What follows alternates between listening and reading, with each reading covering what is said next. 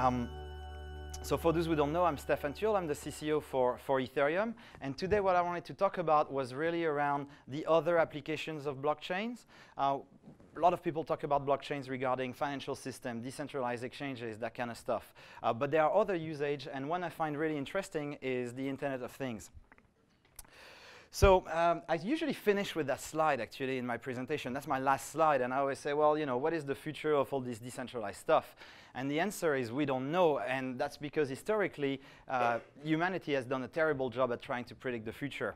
Uh, so, for example, in the Victorian era in France, in France, sorry, um, people thought that the future would be uh, whales driving little trams under the sea, and that's of course because at the time they've just made the first discovery of large underwater animals, as well as you know the discovery of the tram. I'm not too sure what PETA would think about the uh, little guys uh, in scuba gear poking the well with pointy sticks. But uh, thankfully, it, it, didn't happen.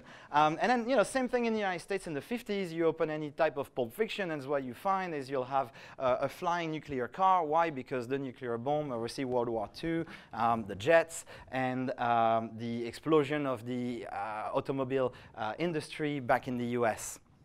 So we can't predict the future.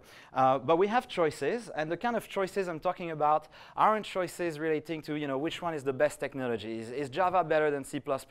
Is, um, say, um, uh, Meteor better than Derby. Now, it's true that Meteor is better than Derby, but it's not the kind of choice that really make a big difference um, in the grand scheme of things. And it actually detract us from realizing the importance uh, of the choices that we can make today with, with regards to technology and the impact they can have in 20, 30 years' times.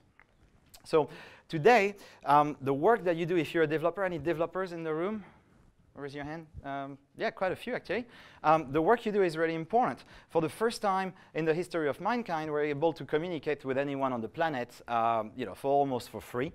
Um, and so the applications that we create will have an impact on an awful lot of people because we can communicate with just about anyone on the planet. We can bring information, we can bring wealth, we can even bring freedom uh, to countries who don't enjoy these things.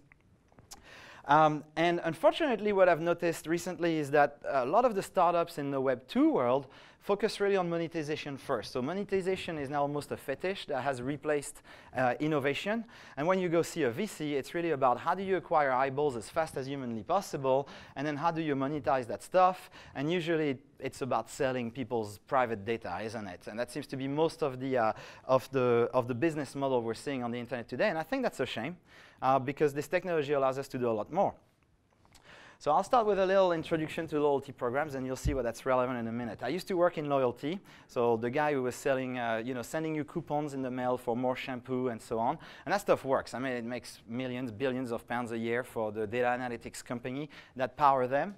Um, data analytics companies sit at the middle, really. It's not the products, by the way. It's not the product manufacturers that are trying to send you those annoying coupons or making you use the loyalty cards. It's, it's purely the data analytics company. They, they get a feed from the POS, the till system, uh, from large retailers. They analyze the data, put you into little segments in terms of where you are in your life cycles as a customer to those, uh, to those retailers. And then they obviously target you to send you more coupons for shampoo. Uh, and they sell that information back to the product manufacturer. So the product manufacturers actually pay for this stuff because they don't understand you, the consumers, but they're not the ones sending you the coupons, it's the retailers trying to increase their sales.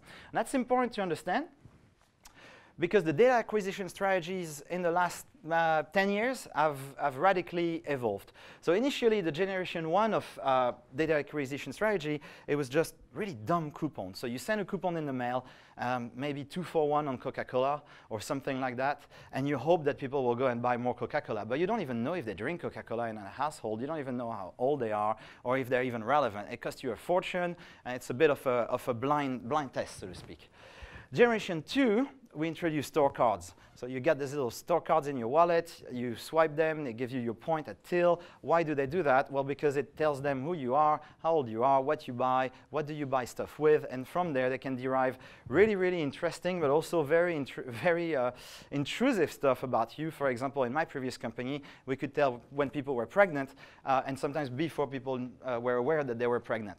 Um, so that stuff is starting to get into the uncanny valley territory. Um, and then it gets even more creepy, I'm afraid. It's, it's only going to get worse, by the way. Uh, so machine learning and social media. Um, Facebook, for example, doesn't know if you've bought a product because one of your friends recommended it or do they? Um, what they do is now they now buy bulk information in the United States as to product purchases in things like Dixon's, for example, and they try to match the name of these people that have been hashed, of course, for your privacy, um, or so they say, um, and they match that obviously with their own demographic information about you, since they know how old you are, what's your name, and so on. And from there, they can actually derive, not with 100% accuracy, but with a fairly good, decent amount of accuracy, if you've purchased products based on the influence of your friends or seeing an ad even, just watching it. Um, generation four, content rewriting. Now that gets really scary. Um, an, ISP in the United States, it's a big one, AT, ATT, um, is currently making its users pay $29 a month so it wouldn't spy on them by listening to pretty much everything that's on the wire going to their data centers. So when you, I don't know, browse a web page, purchase something on Amazon, watch an ad, they know. And then what they do is they build a profile around you uh, based on what you're looking at, and then they rewrite the ads in the web pages that belong to someone else, of course. And what they're trying to do next is they're going to change the content itself. So every web page, and that's how they're going to sell it to the people, by the way. They say, it's awesome. It's the ultimate customization. Everybody's watching a different version of a website. Um, and that's exactly what it will be. It will be customized content to your taste, well, allegedly to your taste, uh, done by the ISPs um, in, in, complete violation, obviously, of net neutrality. So for Gen 5, we have this, the all-seeing eye of uh, HAL 9000 uh, from 2001 Space Odyssey. Uh, we're talking about the Internet of Things, of course, uh, where you basically have TV with always-on microphones. And the logic here is that you can talk to your television and say volume up, volume down, switch channels, and all that good stuff. But it, the, the, mic is always on. And it's listening to pretty much what you're saying in your home. Uh, mobile phones that map your house. Um, Google has a project. You can look it up on Google. It's a phone, has two lenses at the back. You can map your home. They make it look like a game, a bit like what they did with Ingress. And of course, all that data goes to the Google data center. and you know, God knows what happens then. Um, they have glasses now that actually are aware of what you drink. And obviously, the idea is it's faster to go get your, your, your, pint at the bar and all that good stuff. But it also tracks everything you drink. It knows who you are, so it knows what you had to drink. It knows what you have going on within your body, pretty much. And that's pretty much what, where all the monetization angle for the quantified self uh, today exists. It's about selling your personal data, as in your health. Is your health good? And all this information is very valuable to insurance companies, for example. So to me, we're going from a, a dramatic overreach in, in terms of commercial and personal privacy, which is all those generations of data analytics we saw earlier, to really what could become the greatest weapon for oppression in the history of mankind, the Internet of Things. Now, thankfully, there's hope. Uh, we have, for example, the IBM Samsung uh, CES Adept demo that took place at the beginning of the year when they were using Ethereum and they were trying to have a, a, a washing machine uh, being completely autonomous and reordering detergent as needed, um, negotiating with people who sell detergent as part of smart contracts on its very own, um, and the data never obviously leaving the confine of your home where it's safe. And I think that's a very powerful concept because you're really taking data analytics that historically have been done in a data center or usually owned by data analytics company, not even the product manufacturers, um, and you're moving it back onto the edges of the network um, where it's under your control alongside your funds and your personal data. And you can still do all the good stuff that people enjoy with data um, analytics and marketing, that is the, the discounts, of course. You can, for example, know if somebody has children based on how many cycles they run, if they play sport, if, for example, they have the cotton cycle on on Saturdays at a specific time every week. So you can derive all that information. You can even ask them, but it never escapes the home. It never goes to Big Brother, so to speak. So I think that has a lot of potential.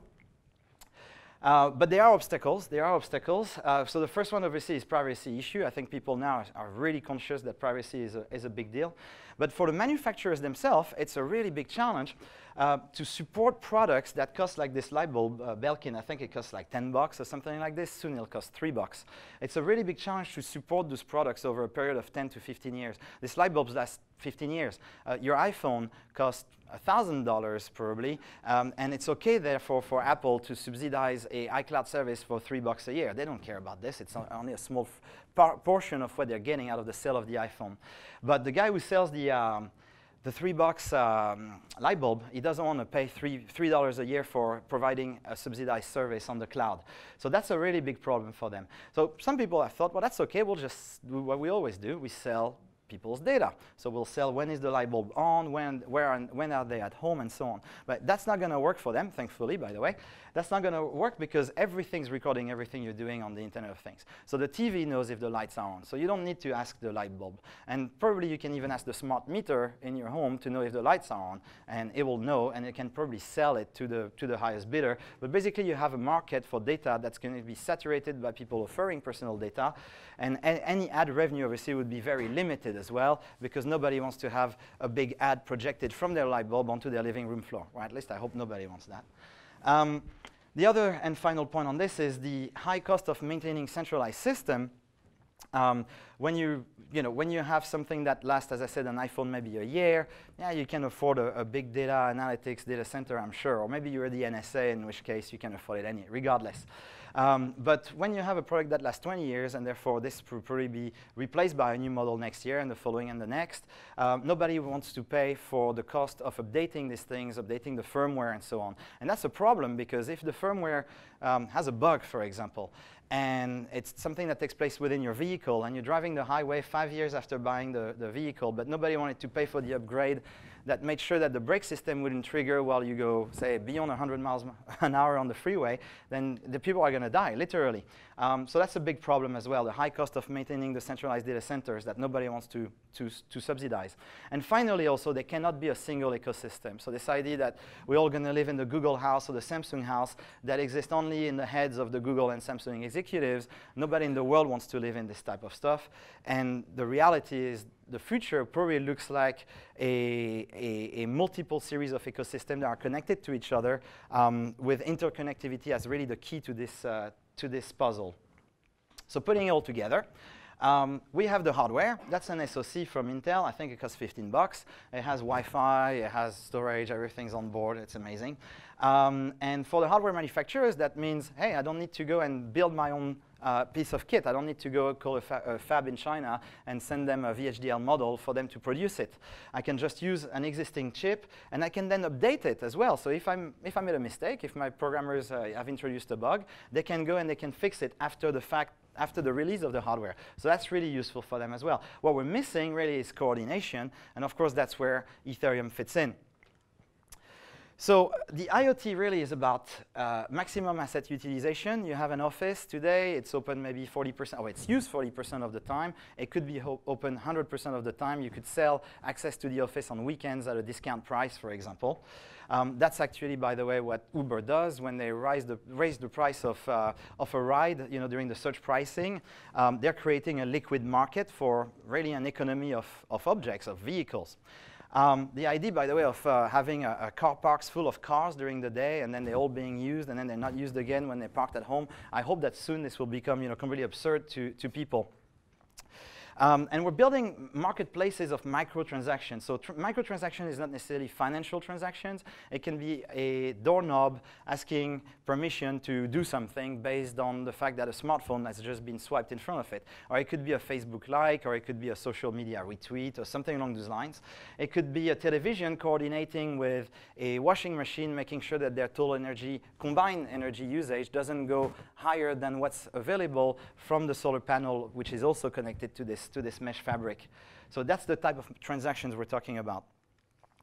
And finally, um, you know, Vitalik was talking about the Ethereum or this type of decentralization technology in general as being a way to bring back the modern day utilities like reputation, identity back into sort of the public domain, if you will.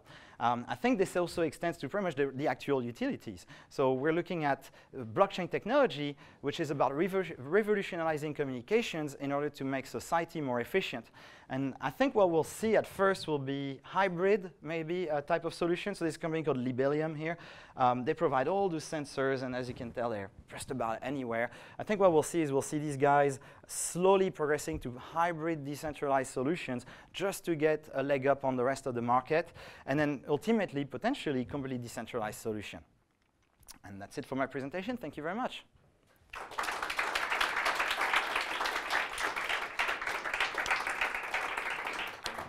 so we'll do a quick Q&A before Irina, and then we'll take it from there. Uh, yep. Oh, we need the microphone, sorry. George will, George will go around with a mic and give it to everyone. Thank you. Um, are you doing anything with IBM and Samsung? Are we doing everything with IBM and Samsung? Pardon? Oh, do we have anything to do with it? Um, so they're using our code base, which I think is a fork of POC5, uh, POC5. And we are providing them with a little bit of advice from time to time, so they're in touch with us, but there is no official partnership. There's a question over there, gentleman with a blue shirt. Um, I was wondering whether you guys are doing anything with particular focus on uh, less economic developed nations, such as possibly Southern Asia or Sub-Saharan Africa, if there's any kind of market expansion into those areas. So act actively, no, we don't, you know, are not in official talks with either governments or institutions, although that's something we can check maybe with Vinay because he's the uh, specialist in that field. Uh, and uh, working on it is, is, it makes total sense. I mean, it's, it's a logical use of the technology. If you look at the meetup maps, though, you'll find that a lot of the meetups are in the developed world already. Um, and I think that's simply because maybe some of the hardcore technology early adopters tend to be more active in those countries. But um, many times we've talked about Ethereum as a technology that had a lot of potential for the developing world, yes. There is a group of guys uh, in Washington. They're doing a company you can search it. It's called Epoch.io and they're aiming to do sort of a microfinancing uh, sort of solution for, for uh, less economically developed countries. So if you want to check it out. Hi, uh, thanks, really enjoyed that. Um, how do we know that the chip that you showed that we can build the Internet of Things on top of doesn't have like an NSA backdoor? Uh, unfortunately, we can't know that. But then again, that's also true for the laptop that's within your, uh, your well, yeah, any, any chip that's inside any laptop. I think uh, it's safe to assume that everything's been infiltrated. Now the question is, what can, can they actually do? And I think it's, you know, at the moment, it will be limited to things like rebooting remotely when they want to trigger some specific attack or something along those lines. They, uh, and, uh, and but not necessarily, you know, decrypting stuff that's already been encrypted. So if you're using I don't know, RSA encryption. I was just recreating some, some PGP key this afternoon, you know, 4096-bit uh, key. Um, I think that's still pretty safe, hopefully. Uh, but yeah, I mean, that will be a, a, big question. And I would like to see, you know, the development we do at, at Ethereum, and in fact, everybody in the field is very much open source, right? And I'd like to see everything to be extended to open source, including the hardware. So any effort along those lines, if you guys know about it, I'd love to hear. Thank you. Yep. Oh, hi, Chris. Presumably the Internet of Things is going to be made up of many low-powered devices all over the place, and they'll need quite efficient and low-powered software clients. Do you know anybody who's writing software for those kind of low-power devices now? Um, well, it starts with removing the requirement for mining, um, so obviously light nodes and then it extends to having smaller requirement for storage, so that goes into light client, as in, uh, well, Ethereum light client, or just like we have Bitcoin light client, as in single payment verification clients. Um, and then it's about getting completely rid of mining, uh, like proof of stake, for example. Uh, in terms of who's actively, actively writing stuff along those lines, I'm not aware of any projects, but I'm aware of POS projects. Yep. Oh, sorry, Josh. I keep forgetting we need the mic. Hello. Hello. Um, so you said with um, with the washing machine, for example, yeah. uh, there's some program that acts on uh, ordering things and uh, negotiating deals right. and stuff. So it basically right. acts as an agent. Yeah, yeah it, we're going so, back to the so days of independent agent yeah. is it, and what its motivation? But that's the beauty of it, right? It's its own agent. Um, and I quite like this idea of having those autonomous, uh, well, what we call DAOs in, in the world of Ethereum, uh, being able to take economical action as part of a, a sort of an optimum economy. Um, now, the risk, obviously, of these technologies, if I'm trying to read between the lines of your question, the risk is obviously that the people who manufacture the, the dishwashers will integrate agents that are biased towards certain maybe detergent manufacturers or maybe towards themselves. Um, that's the risk. But by you know, maybe using a reputation system and having all this stuff open state, just like it is on Ethereum, I think there's a chance for people to say, hey, you know what, they claim to be open, but it's actually a little bit proprietary.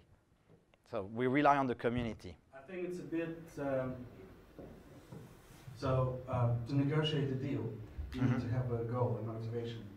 So how would you Oh. assign a motivation to, to, to, to the program? All right. Oh, well, that's that's the easy part.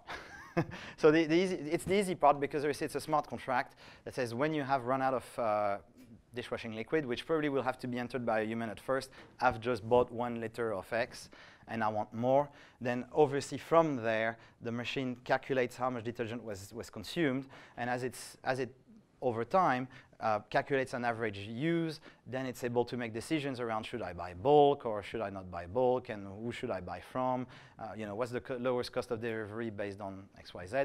We can do that today with centralized technology using APIs. I mean, if, if you look at what Amazon is doing with the, um, called, the dash button, something along those lines, um, you press the button on your dishwasher and it orders uh, more dishwasher detergent liquid.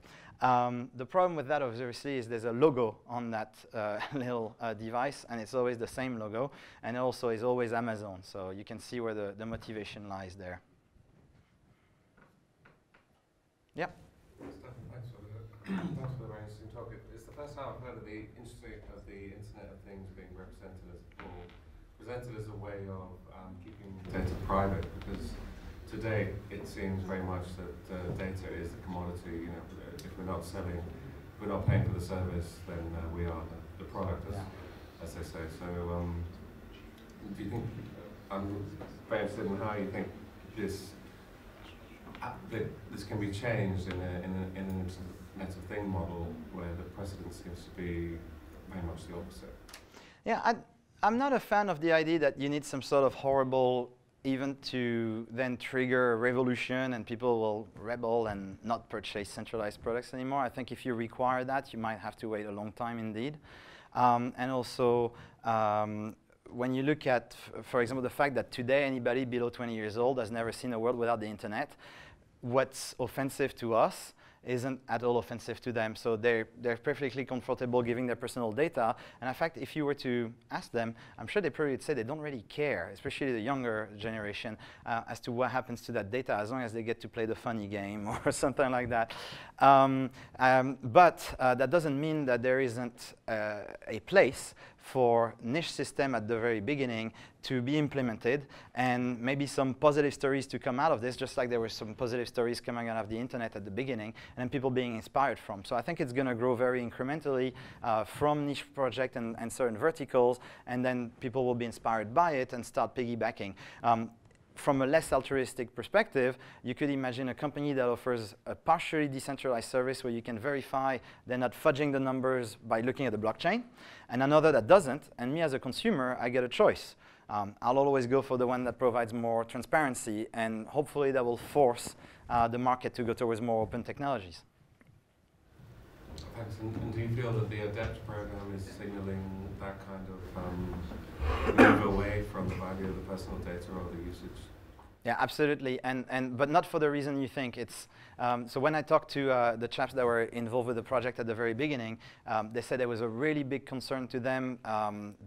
First of all, the way people reacted in terms of uh, their privacy concerns and platforms. So monetizing platforms for them that was already a big no-no. So that's why they started on this project. And the second thing, it's businesses that they were really concerned about because when the Snowden revelation uh, were, were revealed, um, you ended up with a lot of UK and Canadian businesses leaving the United States, you know, in terms of cloud solutions, uh, leaving those cloud solutions and preferring providers that were elsewhere. And obviously that cost quite a bit of money to, uh, to centralized platform providers, obviously, but in, particularly in the United States. Um, so I think they're conscious of this and they're trying to find solutions that where they can still make their money, right? They're not doing it out of the goodness of their heart, uh, but they're trying to, to, to, well, yeah, to find a, a good uh, resolution between privacy and making money. And I can see that Alessandro is telling me to hurry up. The light? There you go. um, Speaking of uh, removing the need for mining, um, what are your thoughts on Stellar? On Stellar? Well, it's not a blockchain, is it? So it's a bit of a non-starter.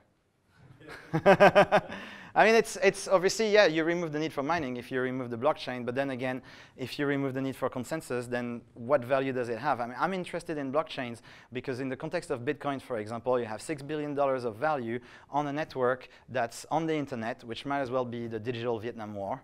Um, and that, uh, that, net, that code is also completely open source. So they've managed to, to achieve security on $6 billion of value, and God knows on the internet, people are going to try to steal that money, right?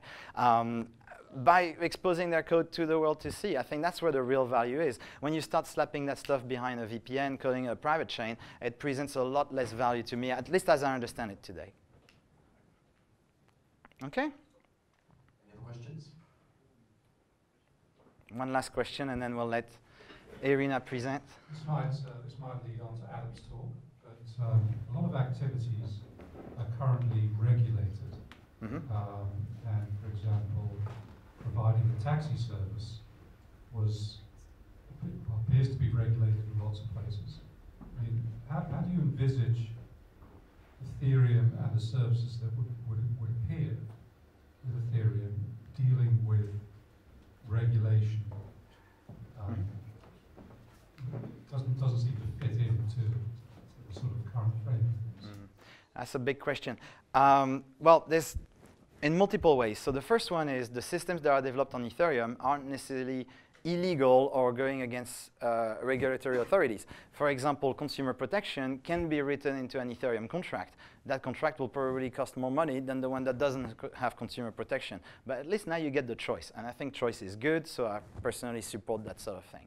Um, and then in terms of uh, how realistic is it to see it implemented at mass scale, um, I think Uber is a good example of this. Um, I was actually in a, in a cab on my way uh, to, to Paris as a French cab driver, and he was telling me how he was fantasizing about putting a bullet in an Uber driver's head uh, because these guys, these guys were stealing his job, and you know, you know, like typical French fashion, fashion, it would be like revolution very soon, and they're gonna go and smash all the Uber drivers. Um, and they were actually, the, the irony was that he was, he was upset at the president because the, the president wasn't protecting him.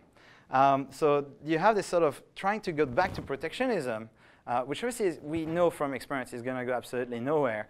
Um, when in fact he could have just embraced this technology and say, well, you know, I could also operate a, under an Uber model. And in the context of something like Ethereum, it will be more like a co-op rather than platform capitalism. So I think there's, there's, there's definitely potential for this kind of projects to, to, to, do, uh, to achieve mass, mass adoption. Yeah. Okay. Thank you very much. And now we'll have uh, Irina telling us